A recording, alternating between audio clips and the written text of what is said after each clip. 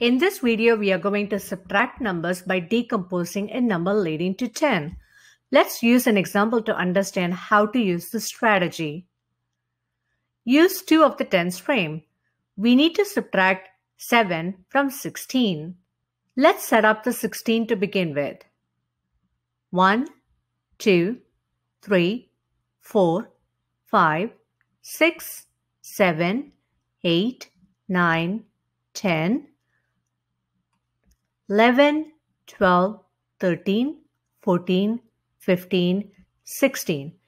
As you can see, we needed both the tens frame to set up the 16. Let's revisit the question. We need to remove 7 from 16. Let's go ahead and remove the 6 to begin with.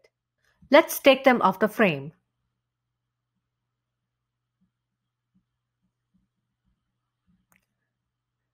We removed 6 of the counters. We needed to remove 7.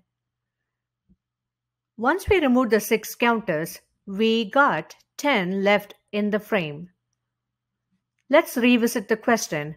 We needed to remove 7, but we only removed 6, which means we need to remove one more. So let's remove one more from the frame.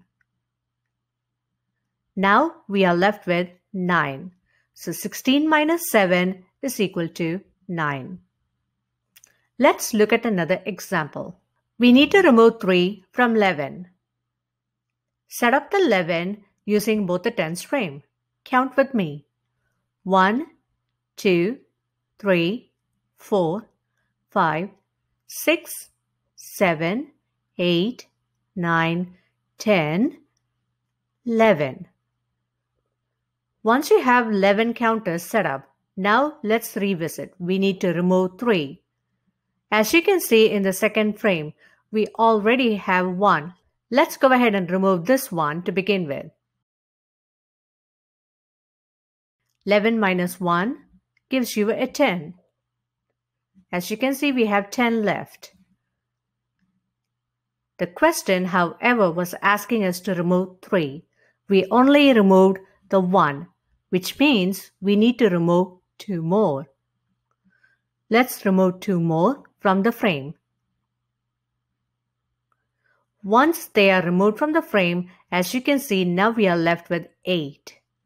11 minus 3 is equal to 8. Example number 3. We need to remove 5 from 14. As usual, use the tens frame to set up 14.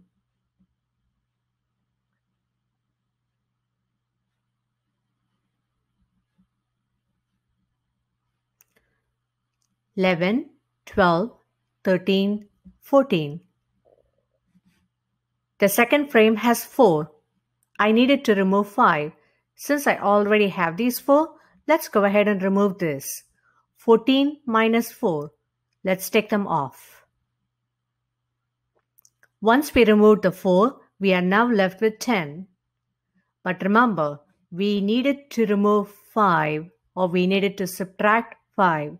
Since we only removed 4, we need to remove one more. Let's go ahead and remove that 1. Now you are left with a 9. So 14 minus 5 is equal to 9.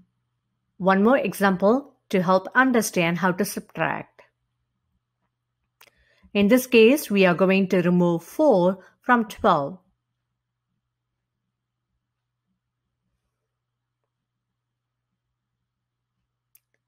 That's 10, 11, 12. We set up the 12 to begin with. Now we need to remove 4.